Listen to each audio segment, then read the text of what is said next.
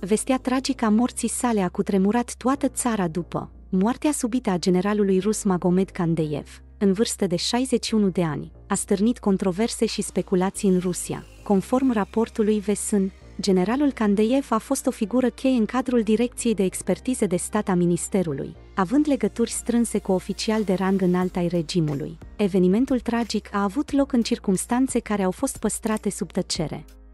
Trupul său a fost repatriat în Dagestan pentru înmormântare, fără o cauză oficială a decesului dezvăluită publicului.